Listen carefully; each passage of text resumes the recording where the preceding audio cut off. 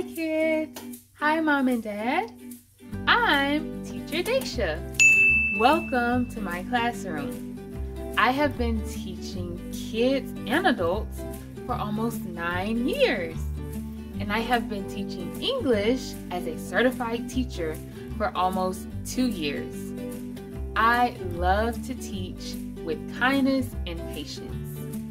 It is okay to make mistakes as long as you learn from them. I also love to have fun in the classroom. So when you do well, you get a high five. And when you get five stars, we love to throw a party. So,